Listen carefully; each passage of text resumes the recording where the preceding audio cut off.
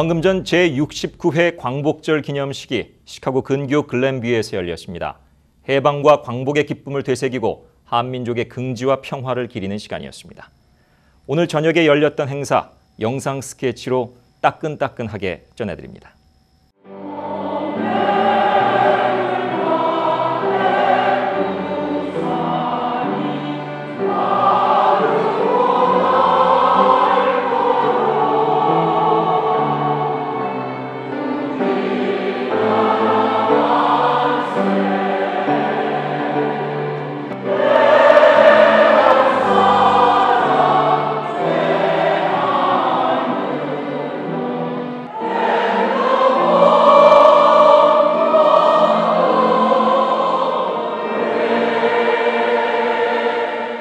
제 노포와 국가유공자 여러분, 오늘 제69주년 광복절과 대한민국 정부 수립 66주년을 맞이하여 온 국민과 함께 이 뜻깊은 날을 경축합니다.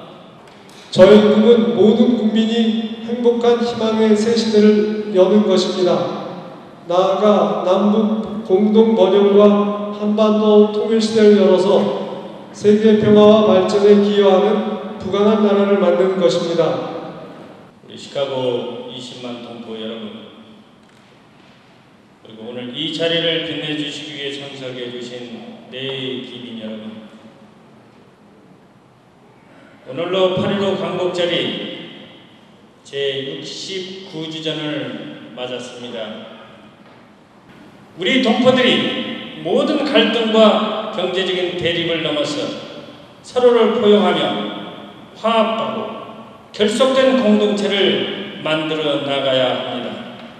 우리 2세, 3세들이 안정된 도전 속에서 마음껏 기량을 발휘하고 거침없이 이 주류 사회 속에서 세계의 장벽을 넘어 정상에 도전하고 뻗어나가는 환경을 마련해 주어야 할 것입니다.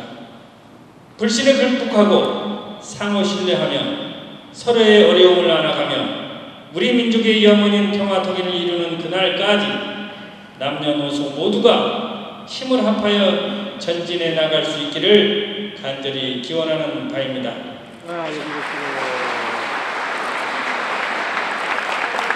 아,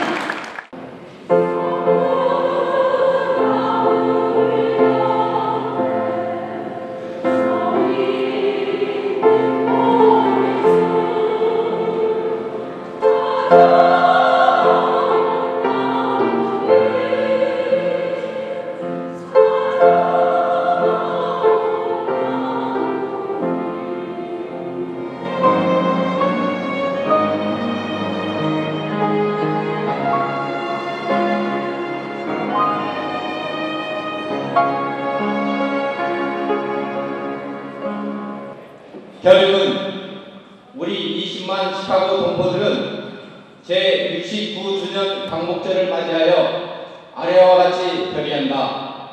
과거 일본의 침략 행위를 용서는 하되 절대 잊지 않을 것을 결의한다. 감사합니다. 여성 인권과 한미일 동맥에 감안하여 아베 정권의 이러한 움직임을 용납하지 않을 것을 경고하기 바란다. 대한민국 만세!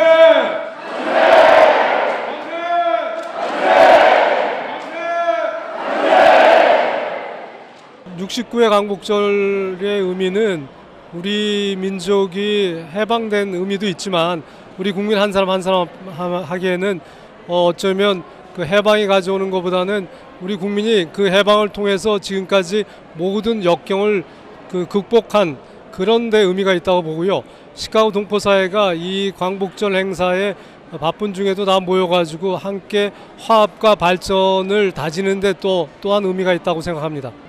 우선 대한민국이 많은 아픔과 그러한 선조들의 순교로 통해서 얻어진 우리 국가라고 저는 이렇게 확신하고 생각하면서 정말 뜻깊은 이러한 광복절을 맞이하게 돼서 감사하고 앞으로 우리들 세대에서 더더욱이 대한민국의 사랑을 어, 높이면서 우리 마음속으로 다시는 그런 일이 없고 또 세계화에서 우리가 우뚝 서서 어, 대한민국의 진정한 코리아의 면모를 보여주는 계기가 됐으면 좋겠습니다.